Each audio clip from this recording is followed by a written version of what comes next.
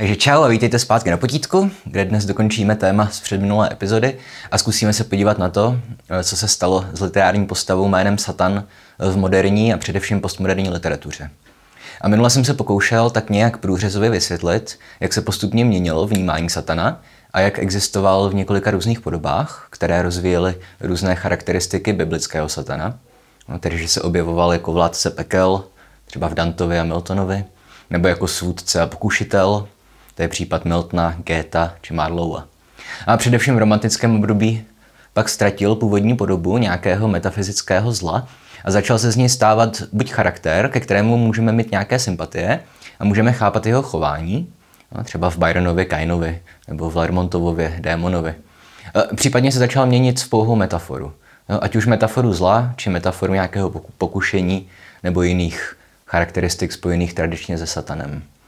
A zatímco ve středověké literatuře eh, měl ďábel mnoho podob, ale přesto zůstával těsně spjatý s náboženským diskurzem, tak je-li řeč o satanovi v moderním a postmoderním světě, musíme vzít úvahu hm, celou tu velkou takzvanou změnu paradigmatu, provázenou jednak ničeho smrtí Boha a jednak celkovou sekularizací společnosti. A v souvislosti s tímhle mluví odbornice na satana Eva Baileyová o tom, že v souvislosti se smrtí Boha eh, zažívá hlubokou krizi identity také jeho protějšek, Satan. No, rozuměj, i v moderní a postmoderní společnosti všichni pocitujeme projevy zla. A v podstatě každý den, že jo? stačí si otevřít noviny. Ovšem odvykli jsme si nahlížet na zlo že, metafyzicky a chápeme ho prostě jen jako produkt různých společenských nebo individuálních vazeb a jejich vzájemného působení. No, nebo řečeno jednodušeji, dnes už nemáme ve zvyku připisovat zlo komukoliv a čemukoliv nadpřirozenému. Jo, nepřipisujeme zlo nikomu jinému než samotným lidem. No. A všichni znají ničeho smrt Boha, ovšem zajímavé je, že svého ničeho má i Satan. No a pro jeho metaforickou opět smrt eh, bylo zásadní dílo Friedricha Schleiermachera, no, teologa a v mnoha ohledech i zakladatele moderní hermeneutiky a předchůdce literární fenomenologie, no, který přišel s tezí o tom, že existence satana a démonů je pověra, která nemá podklad v Bibli, přinejmenším ne ve starém zákoně. A argumentoval v podstatě tím, o čem jsem mluvil v minulé satanistické epizodě, tedy že starozákonní zmínky o satanovi jsou příliš roztříštěné a očividně se nejedná o totožnou postavu. Upozorňoval i na to, že had, který svede Evu, eh, nemá žádné jako reálné pojítko s představou o satanovi nebo průkazné pojítko.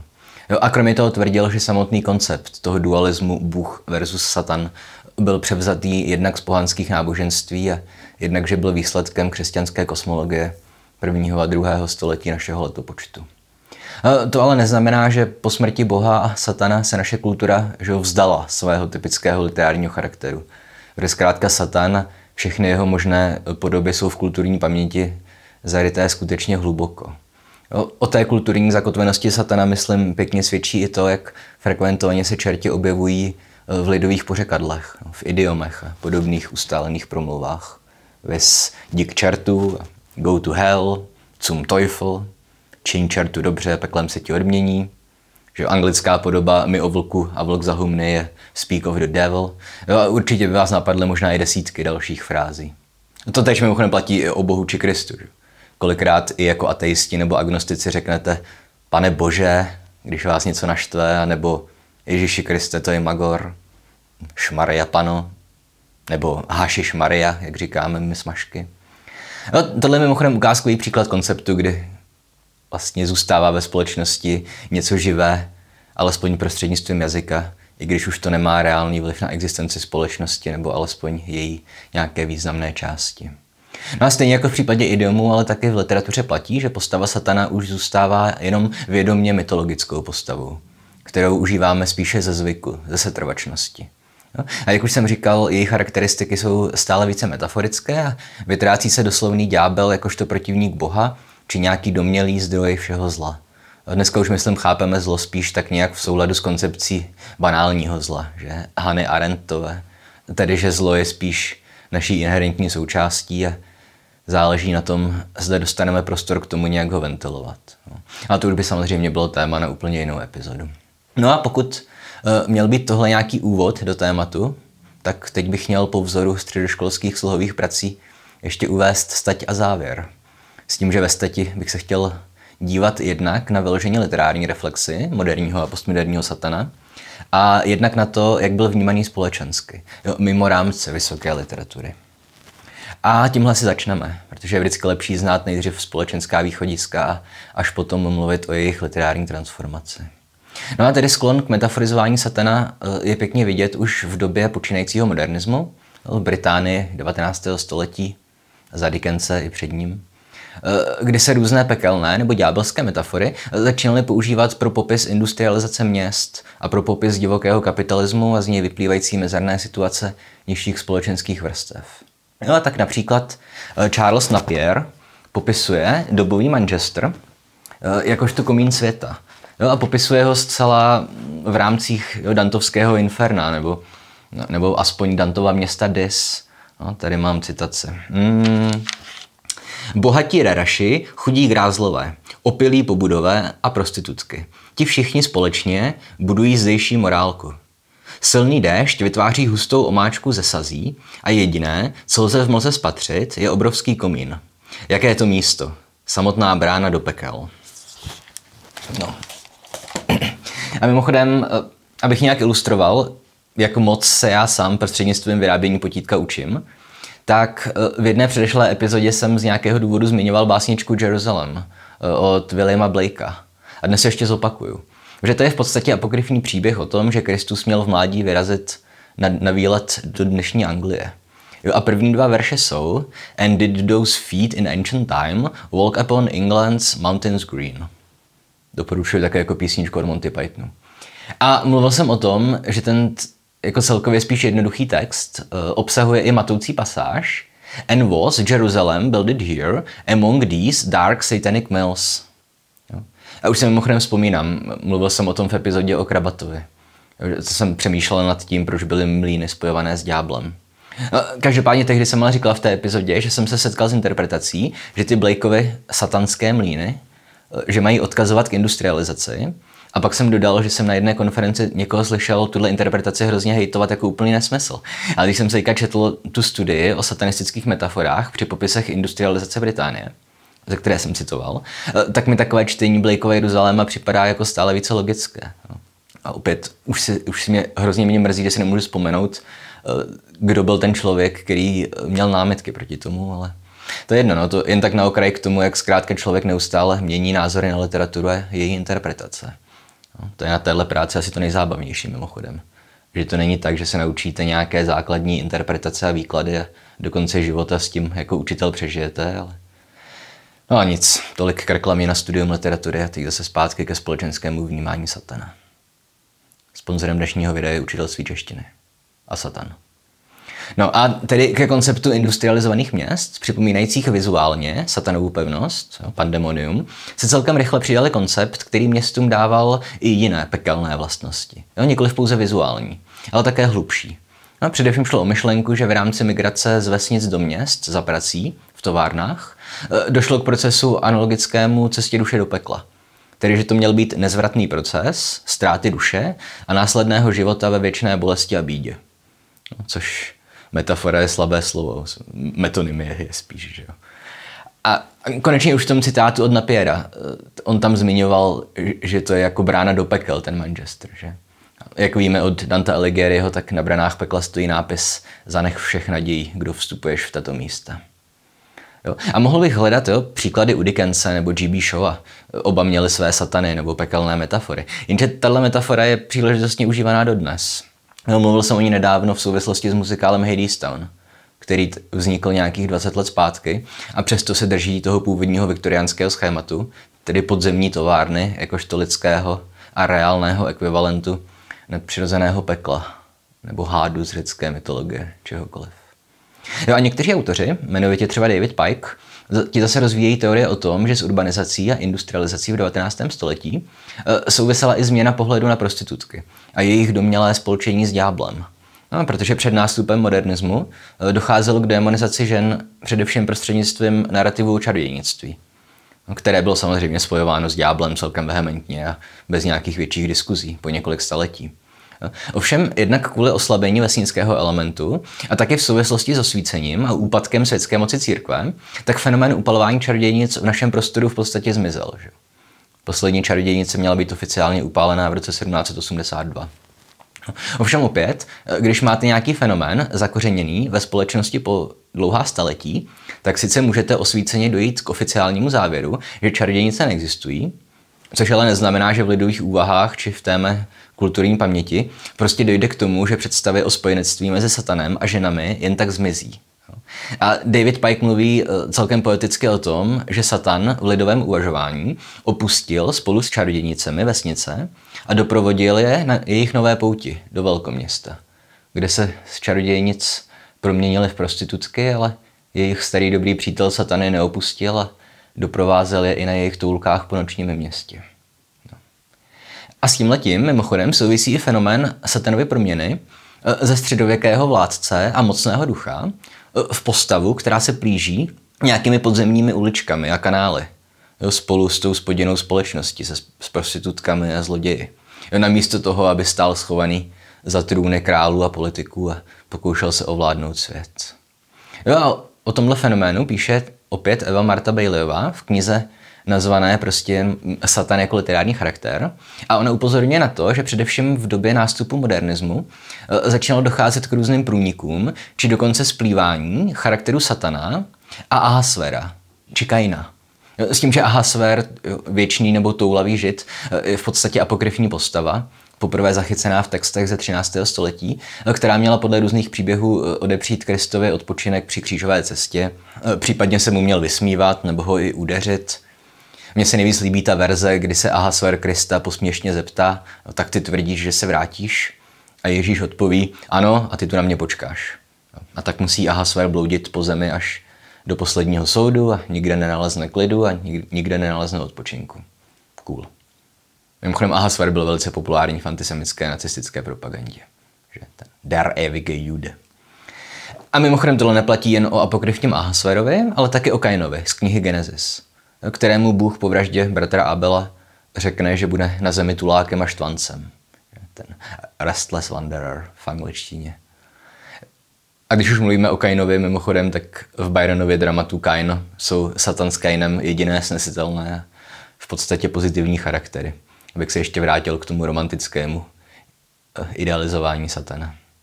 No a směšování Satana s Ahasverem nebo Kainem je opět celkem logické. Eh, jednak především Protože lidová tvořivost prostě tíhne k tomu, že směšuje a kombinuje různé charaktery. S tím, že když zkrátka máte dva charaktery, které jsou vnímané jako zlé, tak se nabízí jejich promíchávání. Že? To též platí pro satana a hada z Edenu. Jo. Nepochybuju ani o tom, že někdo přišel ze stotožněním ďábla a Jidáše. A tak už v 18. století psal Daniel Defoe ve svých dějinách ďábla o tom, že ze satana se po jeho pádu stal vagabund – který bezcílně obchází zemi. A opět s tím, že pro tuhle interpretaci máme i oporu ve starém zákoně. Protože, jak už jsem zmiňoval v minulé epizodě, tak i v úvodu knihy Job se Satan vrací ze svých toulek po zemi. Jo? Podobně novozákonní Petr mluví o tom, že nepřítel obchází kolem jako lev a snaží se nacházet nové oběti. No, případně se s tímhle vandráctvím pojí je idea, že Satan dokáže kráčet mezi světy, tedy mezi peklem a světem lidí. Jo. A opět i tenhle posun eh, můžeme pozorovat, když se díváme na vývoj satana od středověku až po současnost. Protože v Dantově Infernu je satan přikovaný že jo, v nejhlubším okruhu pekla a nemůže mluvit ani se hýbat. A v Miltonovi ve ztraceném ráji začíná v podobné pozici. Jo, svržený do pekla, poražený, ale nakonec se otřese a vydá se mezi lidi. A tady už částečně ten motiv toho vandráka máme. A v moderním a postmoderním diskurzu už je nejvíce ustálený obraz satana právě jako toho vandráka, který nemá nějaký svůj domov a ani ho nemůže nalézt. Jo, moderní satan v podstatě ztratil peklo. Hm. Vis Netflix. A mimochodem už několikrát jsem zmiňoval, že literární satan eh, byl nejvíce populární v britském romantismu. No a k tomu je mnoho důvodů. Eh, jednak posedlost romantiku Miltonem, jednak romantický titanismus, ta idea vzpoury proti bohům a autoritám, ale všimněte si toho malého detailu, že pro romantiky byl typickým motivem právě Wander. Motiv poutníka, bloudícího, nebo alespoň zdánlivě bloudícího, toulajícího se po světě. V našem prostředí, že klasický případ Mácha, ale když se podíváte na životopisy britských romantiků, tak kam se na ně s cestováním či touláním Mácha hrabe. Zkrátka spojitost satana a romantismu má tolik různých důvodů a zdrojů, že k ní zkrátka muselo dojít. Wander, titanismus, Milton, všechno. A když už jsem u toho vandrování, eh, nabízí se i náhled do postmoderní situace, eh, kde bychom mohli také metaforicky mluvit o nějakém že, bezdomovectví, jo, ideovém i ideologickém. Jo.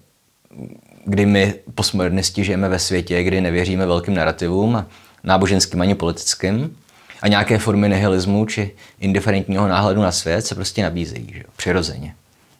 A že jo, stejně jako Satan ztratil i své peklo, tak i my jsme ztratili představu o tom, co vlastně je zlo a co není zlo. A mimochodem ono je, že celkově lákavé dělat paralely mezi romantismem a postmoderní situací. Ale v podstatě bych řekl, že zatímco romantici Ďábla, Kaina nebo Ahasvera obdivovali jakožto bojovníky proti nějakému řádu a proti hierarchiím, tak v současném diskurzu jsou všichni tři trošku ztracení.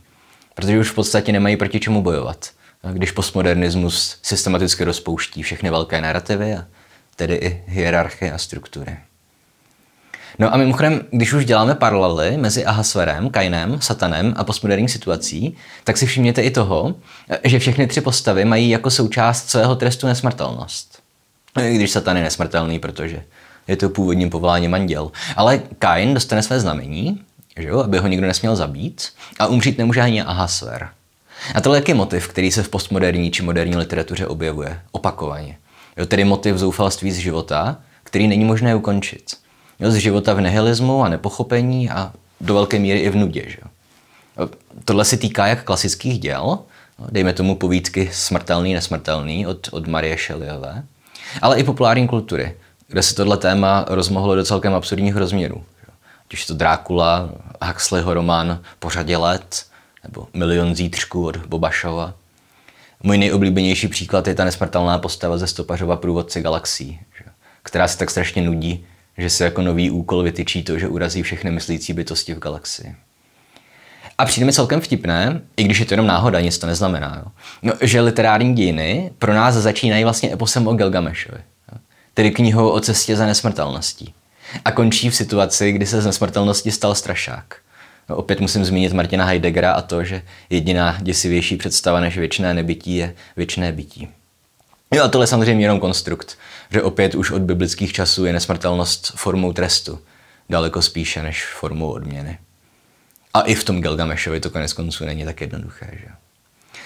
A to myslím stačí jako nějaký úvod ke kulturnímu vnímání satana a jeho přátel v moderním a postmoderním diskurzu. A ve zbytku videa bych to chtěl nějak ilustrovat ještě pomocí literatury. A možná i pop artu. Nevím ještě, jestli se mi bude chtít pouštět do Lucifera z Netflixu nebo Gantra Oudima ze Zaklínače. Možná jo, uvidíme. Ono to video už zase začíná být dlouhé. Tak, že satana, ze satana možná uděláme trilogii a poslední epizodu věnuju vyloženě satanovi v pop artu. No a pokud tedy začneme v romantismu s těmi literárními podobami, tak tam platí především to, co jsem zmiňoval na začátku, a sice, že Satan už opouští peklo a přestává z něj být figura mocného nepřítele Boha a svůdce lidí a namísto toho se stává pouhou postavou. Jo, v mnoha ohledech symbolickou pro lidský úděl. Jo, pouhým malým a tragickým kolečkem v obrovském soukolí, kterému ani on sám nerozumí. Jo. A nemusíme se omezovat jo, jen na britské autory. Ideálním příkladem téhle změny je třeba že Lermontovův démon, ruský satan. Jo? A taky u něj vidíte to, co jsem zmiňoval v souvislosti s kulturou, tedy démonovu podobnost s Ahasverem. V tom smyslu, že odsouzený k věčnému neklidu a k věčnému bloudění napříč vesmírem. Jo? No a s koncem romantismu a nástupem realismu už ztratil Satan dokonce i eh, své nadpřirozené charakteristiky a fungoval vyloženě metaforicky. Sloužil autorům spíše k vyjadřování nějakých složitějších myšlenek, které už ale vycházejí z paradigmatu ničeho smrti Boha, nebo Schleiermacherovi smrti Satana. Tady je asi nejlepší příklad takové změny eh, kniha Bratři Karamazovi od Dostojevského, který používá ďábla v té své slavné pasáži o velkém inkvizitorovi, eh, ve které se Kristus zjeví ve španělské Sevě, kde ho zatkne ten velký inkvizitor a vysvětluje mu, proč ho církev už nepotřebuje a proč měl vyslyšet satanova pokoušení na poušti. Ale říkám, tohle už je typický postup Dostojevského, pomocí kterého pomáhá jednak rozehrávat vlastní příběh, protože inkvizitora vypráví jeden z bratrů a tím se rozšiřuje vlastní charakter, to už se dneska nebudu motat, ale zároveň si tím vypravěč pouští do širších úvah o limitech a možnostech lidské svobody nebo svobodné vůle. Už nejde o satana prostě jako biblickou postavu, ale je to jenom pomůcka. Protože inkvizitorův argument je zjednodušeně to, eh, že Kristus odmítl satanovo pokoušení eh, ve prospěch svobody. Ovšem podle inkvizitora nedokáže lidstvo svobodu docenit ani s ní zacházet. A ve výsledku to pak vede k jeho zániku a zatracení. Ostatně problém lidské svobody a nesnází s ní spojených je, myslím, teď během pandemie palčivější než jindy.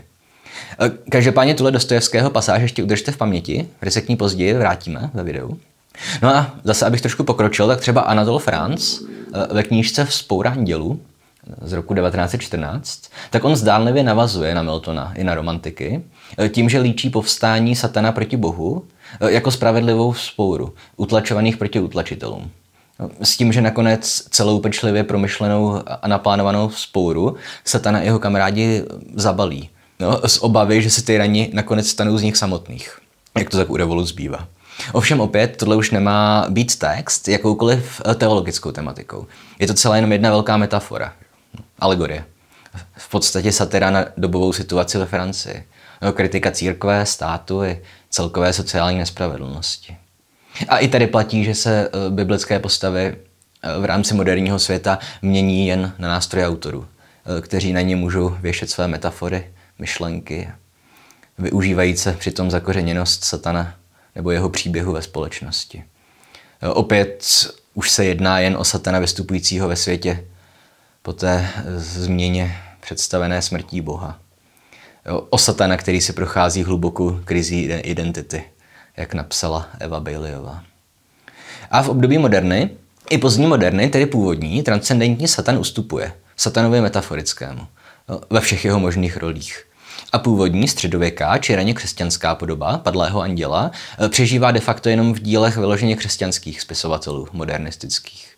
Dejme tomu v knížce Rady zkušeného ďábla od C.S. Louise. Samozřejmě v rozsáhlém Tolkienově díle, především v postavě Morgota, ale podobný motiv nalezneme taky u Saurona a Sarumana. Mimochodem, Louisovi eh, Rady zkušeného ďábla jsou věnované Tolkienovi. Jenom zase bych tu provázel nějak. Jo? Ale teda, když se pak posuneme do postmoderní literatury, kterou budu provizorně a nepřesně rámcovat s mistrem a Markétkou od Bulgakova, tak literární podoba Satana se opět mění. A on opět získává některé své původní metafyzické charakteristiky, které v modernismu ztratil. A tady zase jednou jsem se dostal do situace, kdy jsem našel citát, který charakterizuje postmoderního Satana tak, jak bych to já nikdy nedokázal. Takže ač nerad budu citovat a sice Davida Pajka a jeho charakteristiku postmoderního ďábla eh, Bulgakovém počínaje. Cituji. Eh, vyobrazení satana nabízí rozdílné odpovědi na nejrůznější výzvy, eh, které život člověku přináší.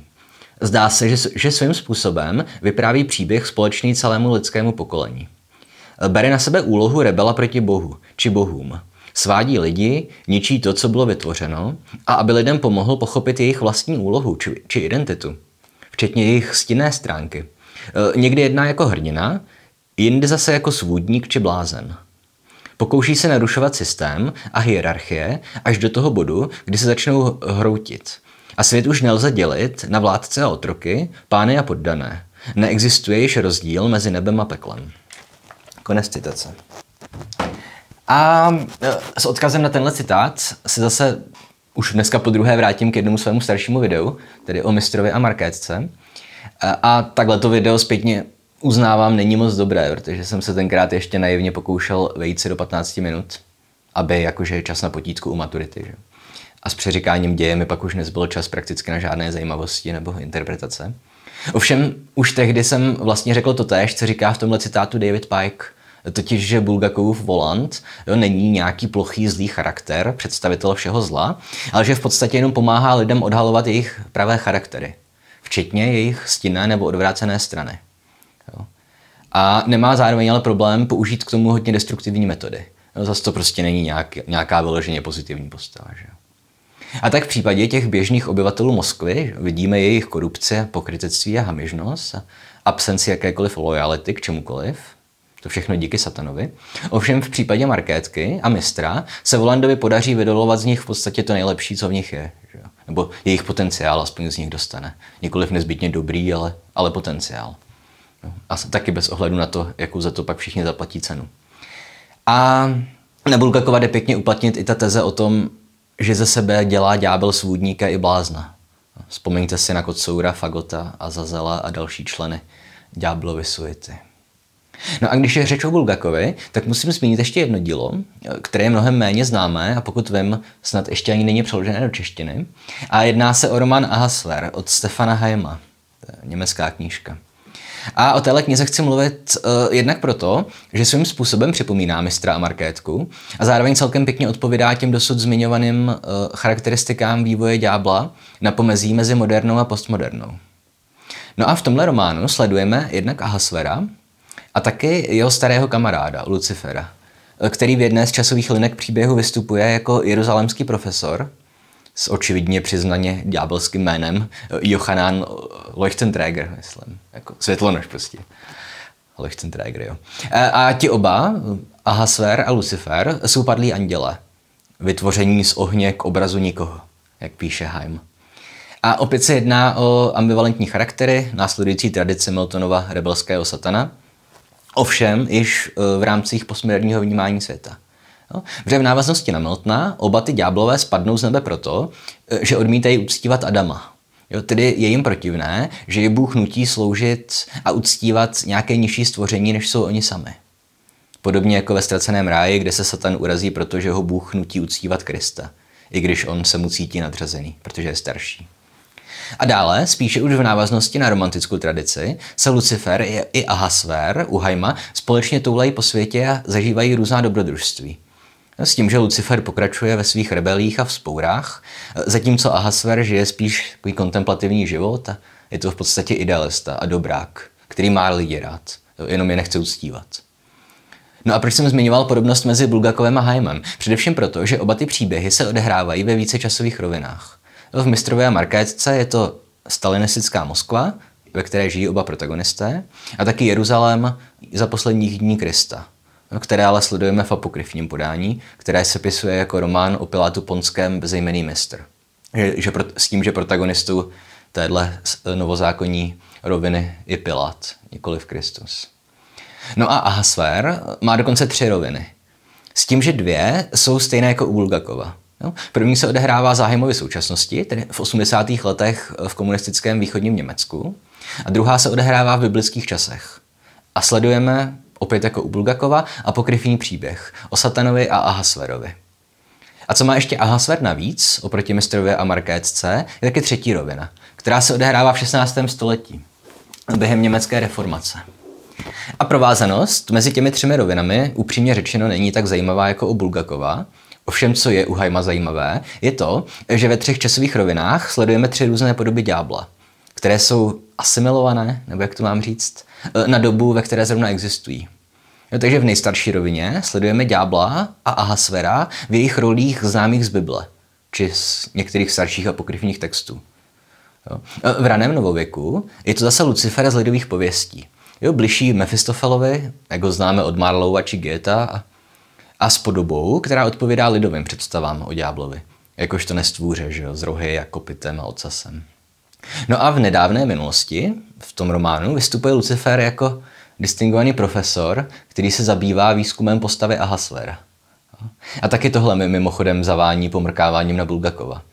Protože Lucifer si dopisuje s jedním německým profesorem vědeckého ateismu, což je opět očividná paralela s profesorem Volandem, který se že vysmívá Ivanovi za to, že je ateista. Zatímco profesor uh, Leuchtenträger diskutuje vyloženě s profesorem vědeckého ateismu. Neustále mu předkládá důkazy o tom, že prostě Ahasver i Satan reálně existují, ale on prostě kvůli své ideologii to nemůže přijmout. Mimochodem poznámka zcela na okraj, ale mně osobně přijde vědecký ateismus jako jeden z nejabsurdnějších oborů, které kdo lidstvo vytvořilo. Kde se v podstatě snažíte vědecky vyvrátit tvrzení, které není vědecky podložené. Což je samo o sobě nevědecký postup. Že? bych mohl rovnou napsat habilitaci o tom, proč neexistují leprikoni. A ano, chápu, že vliv monoteismu na světě, ve světě je mnohem větší než vliv leprikonismu, ale to nic nemění na absurditě toho oboru. Nebo alespoň jeho názvu, které obsahuje slovo vědecký ateismus. No ale to je jedno. A Geheimově a Hasmerovi eh, řeknu na závěr ještě jeden pěkný malý detail, který nám to dnešní téma doufám nějak prováže. A sice, že když se Ahasver setkává s Kristem, který tu vystupuje pod jménem Rabbi Joshua, eh, tak se ho snaží přesvědčit k tomu, aby vedl lidi v boji za svobodu. Jo, Ahasver na sebe bere podobu satana z biblické scény pokoušení na poušti jo, a chce po Kristovi, aby se prohlásil za krále. A tohle můžeme v první řadě chápat jako polemiku s Dostojevským a jeho velkým inkvizitorem, který, jak už jsem říkal, chápe to, že Kristus se nenechal svést satanem, eh, jako jeho chybnou důvěru v lidi a jejich svobodu a svobodnou vůli. Ovšem, když nahlédneme celou tu stejnou situaci, nikoli z moderního pohledu, Dostojevského, ale z postmoderní situace Stefana Heima, eh, chápeme už celou situaci jinak. Že kdyby Kristus na poušti eh, poslechl satana, lomeno Ahasvera, a prohlásil se za krále, nevzal by tím lidem svobodnou vůli, ale naopak by mohl lidstvo vést eh, v rebelii eh, za jejím nabitím. A když potom při křížové cestě Ahasver urazí Krista, je to čistě jen proto, že je na něj naštvaný. Jelikož Ježíš se chystá pasivně přijmout svůj úděl, namísto toho, aby se přidal k Ahasverově a Luciferově revoluci. A tohle je samozřejmě postmoderní relativizace hodnotek vyšitá. Každopádně Haimův Ahasver je fascinující dílo a nebudu vyzrazovat nějaké rozuzlení všech těch zápletek komplikovaných, protože doufám, že si ho alespoň někdo z vás zajde vypůjčit do knihovny a potom možná i přečte. Zvlášť pokud máte rádi mistera Markétku, tak si tu četbu užijete ještě mnohem víc. Je tam spousta zajímavých odkazů. No a no, ještě jsem chtěl mluvit o tom, co se stalo se satanem v populárním umění, což je opět strašně zajímavé téma, že? protože na jedné straně je i pop art ovlivněný postmoderní situací, na druhou stranu mu chybí nějaké hlubší promýšlení souvislostí. Takže z mé zkušenosti je současný satan zredukovaný na několik různých typů postav, kterým ale už chybí to, co ho definovalo v různých historických epochách. Není to ani metafyzická síla odporující Bohu, není to ani tragický romantický vandrák, poražený rebel, Není to ani nástroj postmoderní relativizace hodnot a narušování velkých narrativů. No, to ale neznamená, že by nebyla spousta zajímavostí, které můžeme u populárního satana popsat a interpretovat. Nicméně už jsem zase přelezl přes tu svoji klasickou půl hodinu, kolem které se vždycky snažím videa držet, takže si popartového satana asi budeme muset nechat na nějakou samostatnou epizodu. Ona je ostatně vždycky lepší mít trilogii než dvě epizody. Jak to víme právě z populární kultury. No a to je pro dnešek nejspíš všechno. Jak vidíte na celé dnešní scéně, tak uh, už konečně máme nový merch i fyzicky. Takže pokud máte zájem, objednávejte trička, bloky, hriníčky. Je to na odkazu pod videem. Uh, můžete se taky mrknout na fotky, které jsem udělal já sám a se mnou taky autorka merče, Veve. A jelikož oba nesnášíme focení, tak můžete ocenit, jakou objekt jsme podstoupili. A jinak už klasický závěr videa, takže pokud se vám to líbilo nebo jste se něco naučili, dejte like, můžete dát taky dislike, ale k ničemu vám to nebude. Jak jste si asi všimli, tak YouTube z nějakého důvodu dislike zrušil. Což je mimochodem něco, co mě celkem irituje, protože na jedné straně chápu ten argument YouTube, že to lidi používali k šikanování nějakých menších tvůrců. Že to je tak, to je tak jediné, že jo. A ani to není úplně nejlepší argument, už prostě proto, že když se člověk rozhodne jít z kůží na trh a založit si kanál, tak prostě musí být připravený na to, že budou lidi hejtovat nebo šikanovat. No. To prostě k internetu patří. A kromě toho je to je otrava pro nás jakožto tvůrce, protože ne každý má chuť psát komentáře a pro nás je dobré mít zpětnou vazbu. Že? A samozřejmě nikoho netrápí pár dislikeů a pokud jich je nadstandardně hodně, tak se pak můžeme zamyslet nad tím, kde jsme udělali chybu. Že? A ve výsledku se z toho nějak poučit a zlepšit následně vlastní tvorbu. Nemluvě o ryze praktických záležitostech kde se hodí dislikey. Já nevím, já třeba se rád dívám na sestřihy fotbalových zápasů, protože kdo má čas se dívat na celé zápasy, že jo. Což je ale něco, na čem na YouTube parazituje strašná spousta profilů, které, když hraje, dejme tomu, Barcelona s Bayernem Mnichov, tak hnedka po skončení zápasu nahrají video nazvané Barcelona versus Bayern Highlights. A to video obsahuje třeba nějaký zápas z FIFA, že z počítačové hry, nemísto skutečného utkání. No a dřív stačilo kliknout, podívat se na poměr lajku a dislajku a hned bylo jasno. To už dneska nejde. No a to je jedno. Prostě dejte like, napište koment, sdílejte video, kupujte merch, podpořit nás můžete taky na Patreonu. Mimochodem Patroni mají slevu na merch.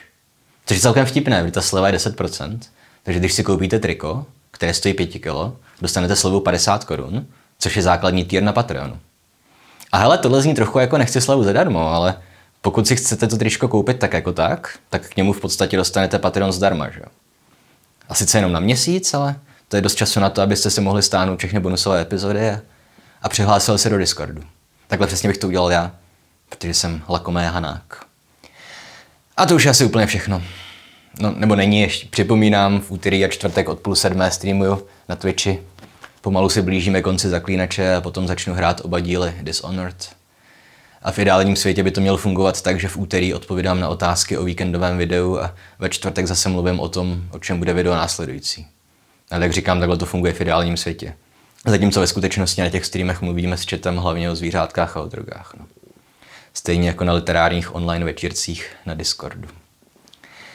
A tímto jsem, myslím, udělal nejdel, nejdelší závěr videa v historii tohoto kanálu. Další než některé starší epizody nejspíš, obávám se. Sorry, no. Za to mohl ten rant o zrušení dislajku. Takže na viděnou příští týden u speciální vánoční epizody o SČL. Ciao.